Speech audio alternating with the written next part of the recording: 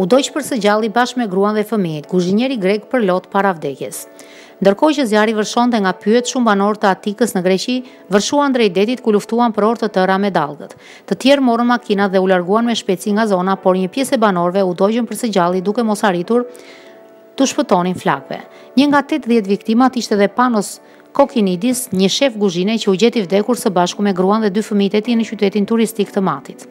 Pak kohë para se të ndërronte jetë, ai shpërndau një video nga vendngjarja në Facebook të shoqëruar me një mesazh prekës.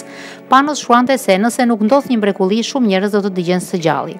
Pasi ai dhe familja e tij u gjetën të vdekur, klubi i guzhinierëve në Greqi ka ndarë një mesazh prekës duke thënë se Panos ishte njeri i mrekullueshëm si nga ana profesionale ashtu dhe familjare. Ata shkruanin se fjalët nuk mund ta përshkruajmë pikëllimin dhe dhimbjen tonë për humbjen e padrejtë të anëtarit tonë Panos Kokinidi dhe familjes së tij. Një njeri i mrekullueshëm me vlera morale, mbi të gjitha një njeri i shkëlqyer profesional dhe familjar.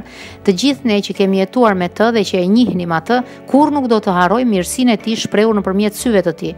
U prehsh në paqe Panajotis, të paktën je me familjen, thonë ata.